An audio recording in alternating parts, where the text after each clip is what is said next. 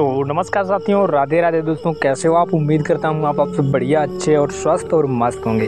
तो दोस्तों, आज की इस वीडियो में मैं आपको बताऊँगा, अगर आप भी मेरा राशन कार्ड जो एप्लीकेशन है, इसमें अपना लॉगिन करने के लिए कोशिश कर रहे हैं तो दोस्तों यहाँ पर आपका लॉगिन नहीं हो पा रहा है।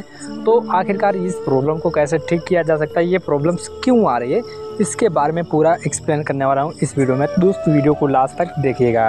तो दोस्तों यहाँ पर देख सकते हैं, मैंने यहाँ पर अपना आधार नंबर फिल कर दिया है। चाहे तो दोस्तों डिपार्टमेंट यूज़र आईडी जो आपके पास होगी तो वो यहाँ पर डाल सकते हैं। अगर आपके पास नहीं तो आप आधार कार्ड डाल सकते हैं, ठीक है?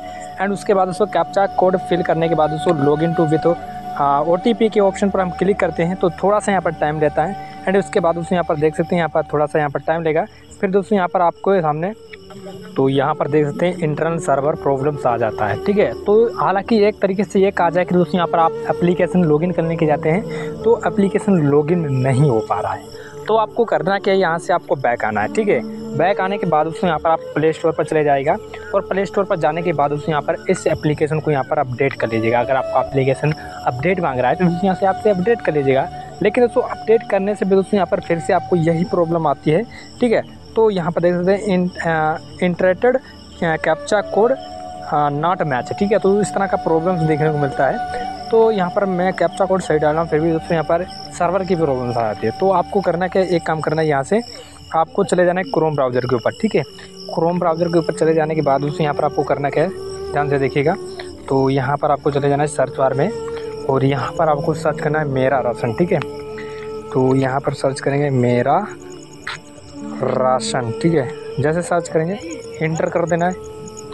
जैसे दोस्तों यहाँ पर इंटर कर देंगे तो दोस्तों यहाँ पर बहुत सारा वेबसाइट देखने को मिलेगा। तो दोस्तों यहाँ पर आपको मेरा राशन जो है, इसी के ऊपर आपको यहाँ पर क्लिक कर देना है। दोस्तों जैसे पर क्लिक करेंगे तो दोस्तों यहाँ पर आपके सामने कुछ इस तरह से आ जाएगा लेकिन दोस्तों यहाँ पर आप देख सकते हैं यहाँ पर दोस्तों यहाँ पर कुछ बताया गया यहाँ पर देख सकते हैं तो यहाँ पर कुछ इस तरह से ओपन हो गया है अब यहाँ पर आप देख सकते हैं थ्री लाइन के ऑप्शन पर क्लिक करेंगे और यहाँ पर आपको लॉगिन रजिस्टर के ऑप्शन पर आपको क्लिक कर देना है ठीक है जैसे आप लॉगिन रजिस्टर के ऊपर आप क्लिक करेंगे तो थोड़ा सा यहाँ पर आपके सामने टाइमिंग लेगा एंड यहाँ पर आपके सामने कुछ इस तरह से आ जाएगा अब यहाँ पर आपको अपना मोबाइल नंबर डालना है एंड यहाँ पर enter your M P N जो आपका यहाँ पर आ जाए तो यहाँ पर आपने नया रजिस्टर करना है तो दोस्तों रजिस्टर हेयर के ऑप्शन पर आपको क्लिक करना है, ठीक है?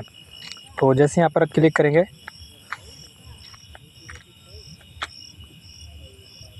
यहाँ पर आपको अपना मोबाइल नंबर डालना है।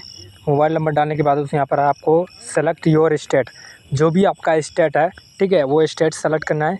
सेलेक्ट कर देने के बाद उसको यहाँ पर आपको जो है हाँ मैं फिर से आपको दिखा देता हूँ।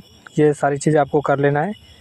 ठीक है, कर लेने के बाद उस यहाँ पर आई एम कंडीशन टर्म को सेलेक्ट करना है। यहाँ पर रजिस्टर नाव के ऑप्शन पर आपको क्लिक कर देना है। दोस्तों, जैसे क्लिक करेंगे तो उसके बाद उसको आपके मोबाइल नंबर पर एक ओटीपी जाएगा। उस ओटीपी को एंटर कर देना है। एंटर कर देने के बाद उसको आपका जो है पिन बन जाएगा पिन बना लेना है। उसके बाद उसको आप इसमें साइनअप कर लेंगे। तो कुछ इस तरीके से आप लॉगिन कर लेंगे यहाँ से तो उसके बाद उसको आप एप्लीकेशन से लॉगिन करेंगे तो उसको हंड्रेड परसेंट आपका लॉगिन हो जाएगा। अगर कोई भी दिक्कत देखने को मिलती है तो उसको आप हमें कमेंट कर सकते हैं। वीडियो पसंद आए, वीडियो को लाइक कर देना चलो